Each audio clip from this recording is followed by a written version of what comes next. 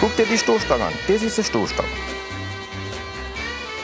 Nicht so ein Plastikkacke wie heute.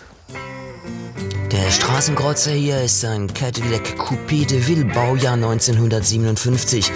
Andreas Winkler in seiner Werkstatt in Zotzenbach im Odenwald. Der Mann ist ein einheimisches Gewächs. Er lebt schon immer in Zotzenbach und er lebt auch schon immer für Autos, für Schlitten, die in den Filmen vor 60 Jahren auf den Boulevards kreuzen und auch die vielen anderen Autos vergangener Tage. Die liebt er. Das ist wunderbar. Gibt doch nichts Schöneres, wie mit solchen schönen Fahrzeugen sein Geld zu verdienen. Das ist doch super. Ich konnte die schönsten Autos fahren, was es gibt auf der Welt. Cadillac, Ferrari, Lamborghinis, Porsche, AMG, Mercedes, Rolls-Royce, Lincoln, Mini Ende, 2CV, R4, weiß der Teufel was. Da ist einer, der in seiner Arbeit aufgeht. Schlosser war er früher mal bei einer Baumaschinenfirma. Vor mehr als 25 Jahren begann er dann diese Werkstatt aufzubauen. Er nimmt hier nicht nur irgendwelche Reparaturen an, nur die von in die Jahre gekommenen Schönheiten. Die neuen Autos, die von heute, kann er gar nicht selbst reparieren. Seinen eigenen Sprinter musste er auch schon in eine andere Werkstatt bringen. Ich hatte da jetzt ein Problem letztes Jahr mit dem elektronischen Gaspedal. Warum man sowas braucht, weiß ich nicht. Die Autos haben halt Stänger oder Gaszug. Die hat halt elektronisches Gaspedal und da war was kaputt. Dann musste eine neue Software aufgespielt werden, dann ist das Auto wieder gelaufen. Kann ich nicht, will ich auch gar nicht können. Mach ich nicht, Das ist nicht meine Welt. Zotzenbach ist klein, etwas mehr als 2000 Einwohner. Da läuft man sich schon mal über den Weg. Die Fotografin Nicole Zimmer ist auch in Zotzenbach zu Hause und wollte etwas repariert haben. Ich war unterwegs und treffe ihn auf der Straße im Ort. Habe ich ihn angehauen, habe gesagt, hör zu, gibt eine alte Vespa im Keller, wäre das was, was du reparieren kannst? Er hat mir sofort angeboten, sofort mitzukommen.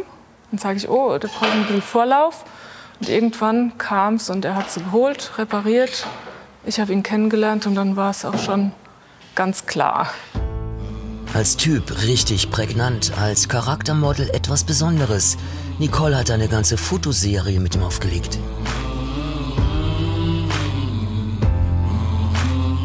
Und dann stand da noch dieser Oldtimer in der Werkstatt.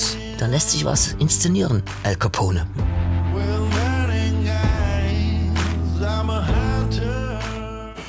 Ja, das ist doch riese Gaudi, sowas zu machen. Gerade das ist die Sache mit dem 1934 Opel-Rekord als, als Mafiosi. Ne? Abends in der Dämmerung, das war super. Das hat unheimlich Spaß gemacht.